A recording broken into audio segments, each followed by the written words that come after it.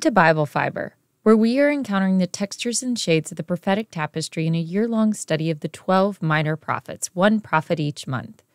I'm Shelley Neese, president of the Jerusalem Connection, a Christian organization devoted to sharing the story of the people of Israel, both ancient and modern. This week we are reading the prophet Haggai, the first prophet to break the divine silence after the exiles returned from Babylon. A century has passed since Nahum, Habakkuk, and Zephaniah first warned the people of Judah that divine punishment at the hands of the Babylonians was near certain. The prophets promised that a remnant would survive the exile, return, and rebuild. For Haggai, the remnant was not eschatological. The remnant was his audience. And good news the remnant's response to Haggai's exhortation is refreshingly positive. The ears that went deaf to pre exilic prophets are now actively keen to hear out the post exilic prophets. In 586 BCE, the Babylonians attacked Jerusalem and destroyed Solomon's temple. After a brutal, protracted siege left the Jews weakened and starving, unable to defend their city walls against Nebuchadnezzar's army. The temple and palace were set aflame. Thousands of Judah's fighters, skilled workers, artisans, and royal court were deported to Babylon. Only the poor who survived were left in the land to eke out their existence in the ruins of their kingdom. Babylon's fall arrived as quickly as its rise. By 539 BCE, only 50 years after Jerusalem's destruction, the Persian Empire overran the Babylonians. King Cyrus of Persia had a refreshing philosophy concerning conquered peoples. He encouraged the Judeans living in Babylon to return to Jerusalem and rebuild their lost capital and temple. According to the Bible, 50,000 Jews in the diaspora took Cyrus up on his generous offer, everyone whose spirit God had stirred. Those who returned to the land of their covenant were zealous to fulfill their role of the remnant, as foretold in the prophets. They understood that Cyrus's decree was a result of God's fidelity and a fulfillment of his promises. The historical record in Ezra corresponds with the theme of Haggai's prophecies. Only seven months after the first wave of Jewish exiles returned to the land, they enthusiastically erected an altar atop the ruins of Solomon's temple so they could properly celebrate Sukkot, the Feast of Tabernacles. With only an altar, they were able to reinstitute the sacrificial system as prescribed in the law of Moses. They brought back the priesthood and laid the foundations of the new temple. Most of the people responded to these acts of renewal with enthusiastic shouts. However, older witnesses in the audience wept because they understood they did not have the means to build a temple as beautiful as the one they had lost. Soon, the returnees faced opposition from the people of the land. Presumably, those groups who were deported to Judah in the intervening years between Assyria's destruction of Israel and Babylon's destruction of Judah. The people of the land saw the return of the Jews as a threat they wrote a letter to King Darius accusing the Jews of illegally rebuilding the temple with a plot to rebel against the Persian Empire. The Judeans became demoralized by the intrusion and all their temple work stopped. Only once the decree of Cyrus was located in the royal archives were the Jews able to prove that their temple work was sanctioned at the highest levels of the Persian courts. Haggai's prophetic ministry dates precisely to 520 BCE, the second year of Darius the king. There's a sad note in this superscription, as no other prophet before Haggai included the reign of a foreign king rather than Judah's own king. Thus, the book opens with a reminder that even though the Jews have repatriated their own land, they still lack independence. Haggai's book consists of four self contained oracles recorded over the course of four months. No prophet living before the exile used precise dating formulas with the month, day, and year but it became customary practice for prophets during and after the exile. Ezekiel and Daniel, prophets in exile, used calendar dating in their oracles, as did Zechariah. They all show the same commitment to chronological precision, which was clearly learned in exile. Historians compare the new prophetic dating style to the system found in the Babylonian Chronicles. The royal historians of Babylon and Persia consistently used exact dates for every event that impacted the throne. The prophets who survived the Babylonian exile were not immune to the traditions and practices of their larger community of Babylon.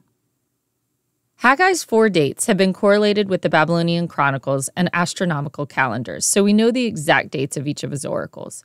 August 29th, September 21st, October 17th, and December 18th.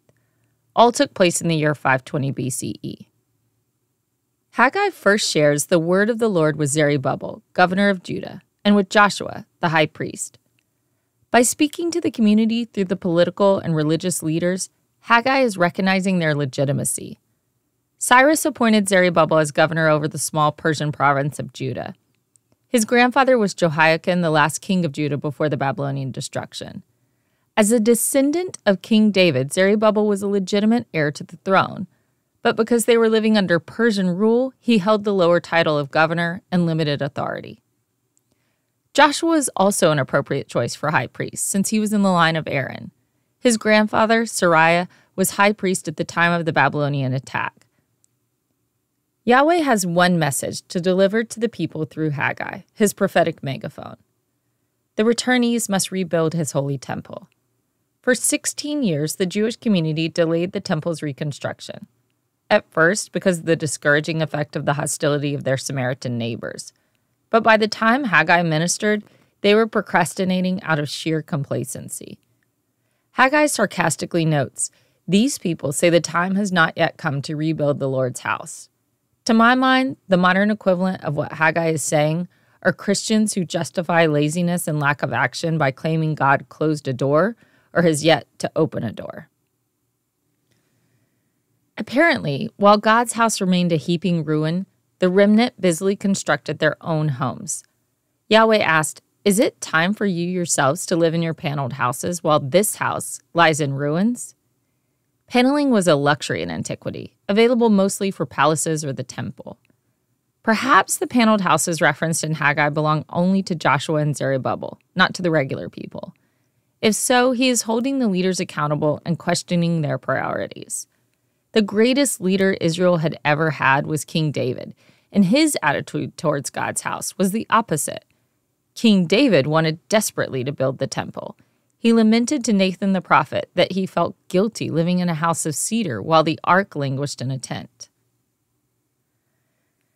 The average Judean likely did not have a luxurious home.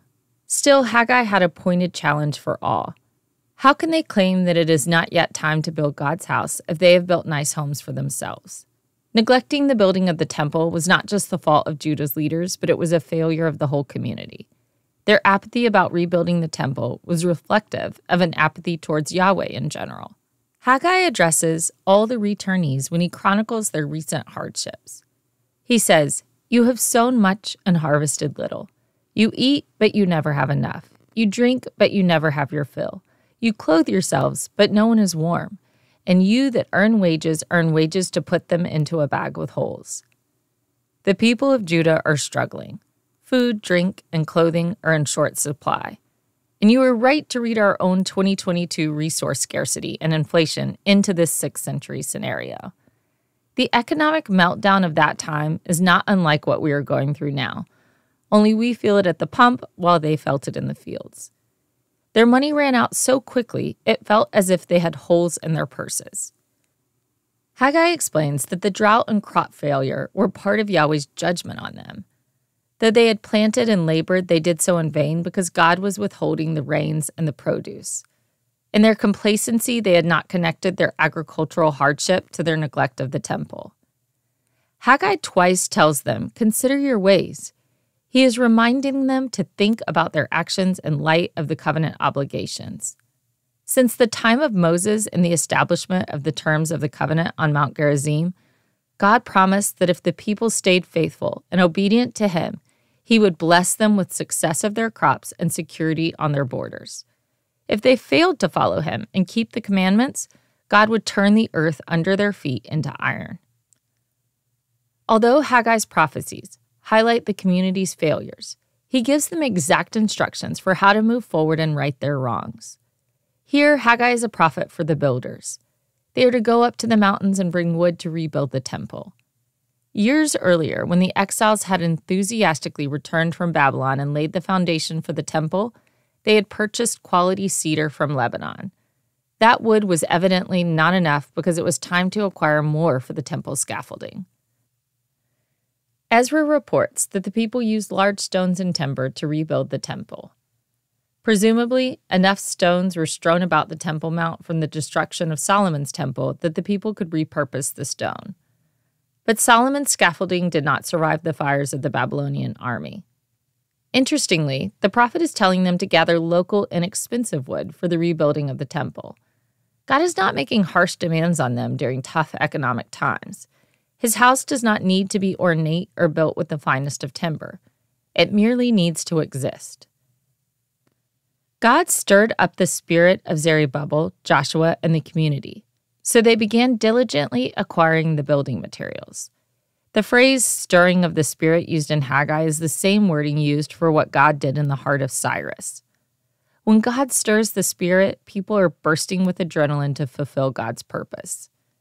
Christians read about the rousing of spirits in God's people and rightly see an early supernatural working of the same Holy Spirit who continues to stir our spirits today towards God's purposes.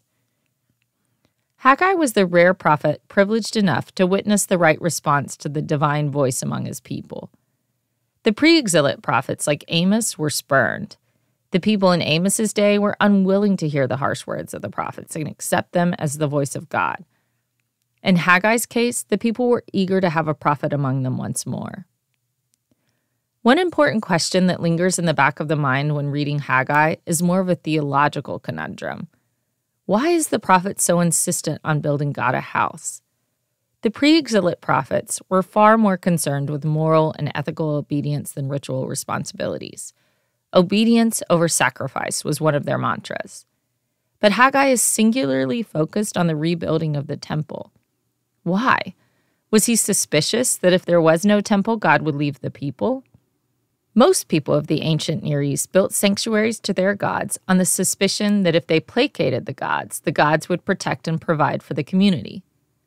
A Jewish believer had to be of two minds when it came to their sanctuary worship.